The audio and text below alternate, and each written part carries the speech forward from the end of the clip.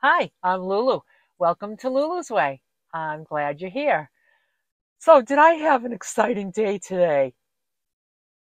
Okay, so I spent the morning.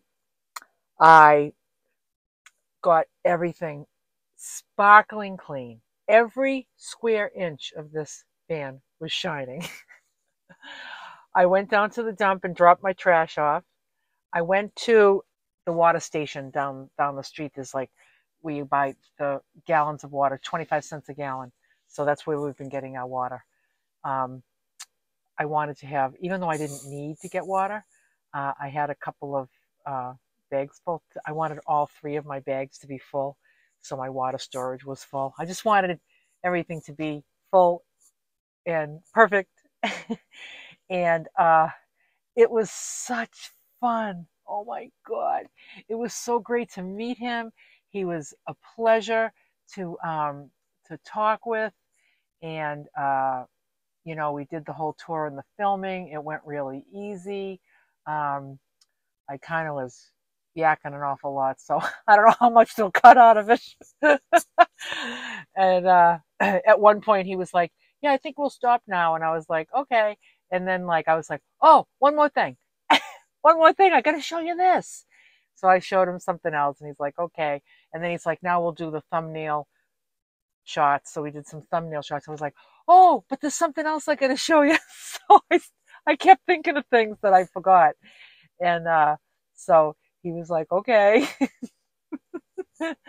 so we'll see how it turns out. I'm excited about it. I know that there's a, a, a friend of mine that's a YouTuber that was toured by him, and uh, she said he never posted it. She says, I guess he didn't like it. And then it was posted one day. It was like a year later. That's how long he takes. He's got a backlog of lots of footage, and they get to it when they get to it. So I said to him, um, "So will it be will it be a while before mine's posted?" And he said, "Yeah, it'll be a long time." So that's okay. Um, I'll look forward to when he does it. You know, when it is posted. Um, so uh, it's cold. It's cold and windy. Um, it's today's an unpleasant day. And guess what I did for the first time? I hosted a guest in my van today. Um, Luann sat right here, and I sat right here on the bed facing this way. We were both really comfortable, and we had the doors open because then the wind wasn't on us. We just needed to come inside because of the wind. I said, I have a guest in my little teeny van. Then I realized I could seat two people on this cooler because it's so long. So I could actually have two guests. It'd be a little tight, but I could have two guests. She came in here because what we did was we booked campsite for Lake Havasu. We were asking some of the people around here that are very familiar with boondocking, and they said Lake Havasu, there's no, there's lots of BLM land, but it's none of it's on the water and we decided that we want to be on the water. So she suggested, why don't we just get a campsite for a few nights? We'll get one near the water. We can sit on the water, be by the water, and just have a few days where we have some amenities like like showers and flushing toilets and water and electric. So that's what we decided to do.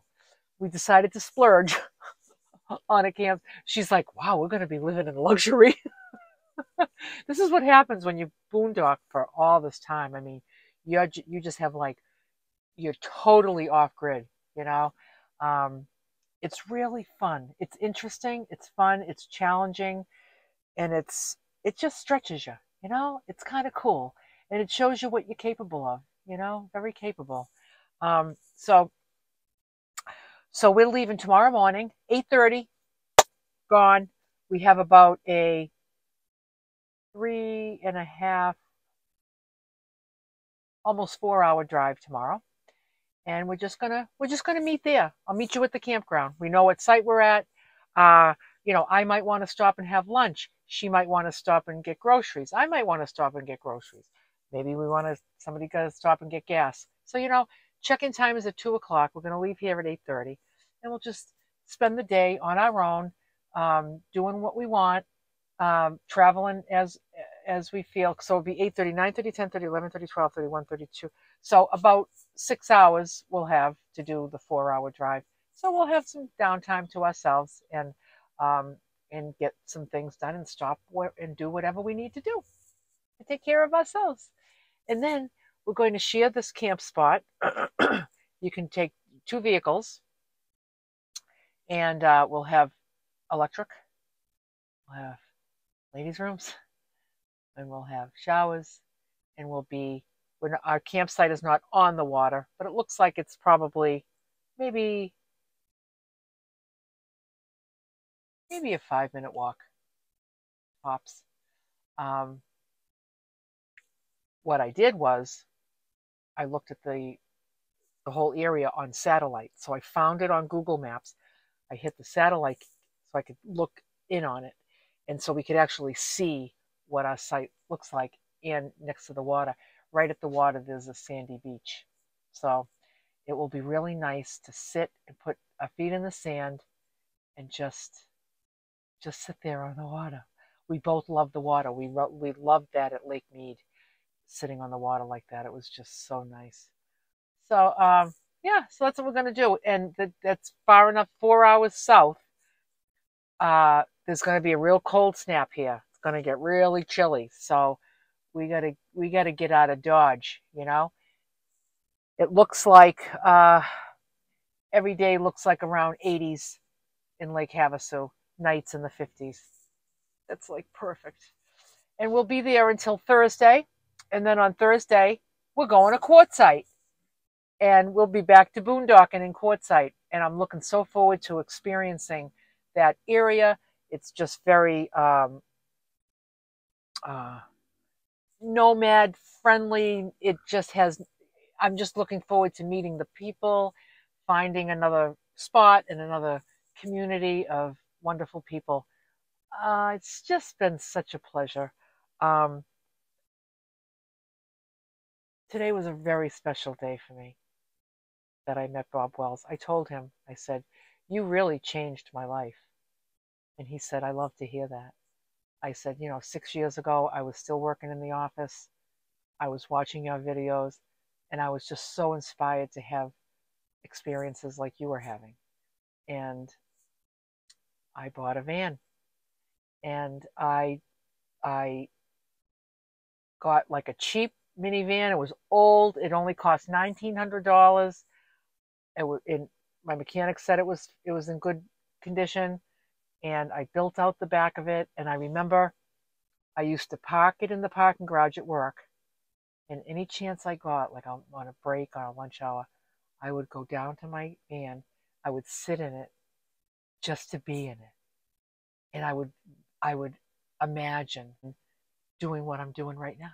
I would imagine that um, I couldn't really use it all that much because I worked. So I would get vacation time and I would be very limited, you know, so like I would take a week's vacation and I would go visit my daughter. That was like my destination. Um, she in, in Iowa. So I would take three days to get there. I would spend three days there and then three days back. And then my, my week's vacation with two, two weekends on either end was over and then I would just need to be back. And then when I was able to just go and not have to count days and not have to be back for anything, oh, that was so sweet when I retired. Um, so, but you know, I didn't wait until all the circumstances were perfect. I just did it, and I did it on a on a shoestring budget. I put it together very inexpensively, um, just the same way I did this van I just found things at thrift stores and I put things together and I loved, loved my minivan. Um, and I told him that it was, it was, it was him that really changed my priorities, you know? And I'm really enjoying this just really simple. It's just simple, very simple. Um, and this is why I don't want to be uh, a tourist in all these towns, and I don't want to be a tourist all through Arizona. It's just not my vibe. Um, there's just something about this nomadic lifestyle, this um, uh, living off the grid lifestyle, this self sustaining lifestyle. Like, it just take care of yourself. You just take, spend the day taking care of yourself. It's just, it's a blast. It's just a blast. Everything I do could be annoying if I was annoyed. I could just be annoyed at everything.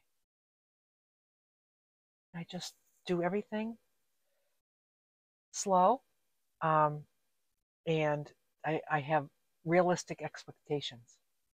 Um, I have so much space. I have so many things. I have this is what I need to do to take care of myself, and then it just just happens. It's just really fun. It's really fun.